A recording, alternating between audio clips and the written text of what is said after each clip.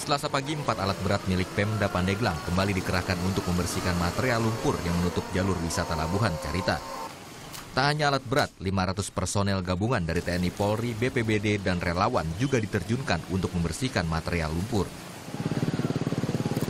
Minimnya alat angkut membuat proses pembuangan material lumpur terkendala.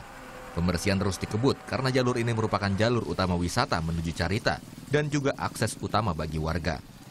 Uh, kendala ya jalan kita bersihkan dulu. Kendalanya memang uh, kita butuh back, uh, apa alat dump truck yang banyak karena tempat pembuangannya yang jauh sehingga uh, mengurangi rutinitas kita untuk lebih cepat untuk bergerakan itu.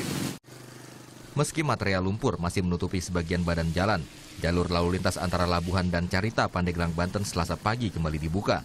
Sebelumnya akibat banjir bandang jalur ini ditutup lantaran dipenuhi material lumpur setebal hingga 50 cm. Tak seluruh kendaraan boleh melintas, hanya kendaraan roda dua serta mobil berukuran kecil yang boleh melintas. Pasalnya di jalur ini terdapat sebuah jembatan yang rusak. Dikhawatirkan kerusakan semakin parah jika dilintasi kendaraan besar.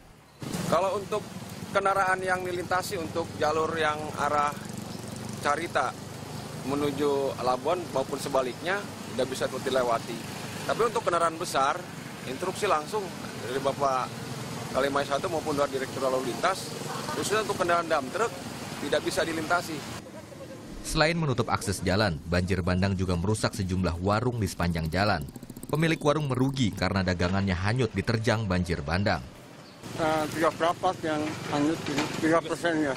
Tiga puluh persen tujuh puluh persen. tujuh puluh persen iya. Hanyut pas kejadian bapak di warung ini? Di warung tapi airnya nggak uh, cepat datang gitu. Banjir bandang yang terjadi di Kecamatan Carita terjadi Senin dini hari. Banjir disebabkan hujan deras yang mengguyur daerah tersebut sejak minggu sore. Dalam kejadian ini, empat warga Labuhan tewas karena keracunan karbon dioksida saat terjebak di dalam mobil ketika banjir. Iman Santosa melaporkan untuk NET.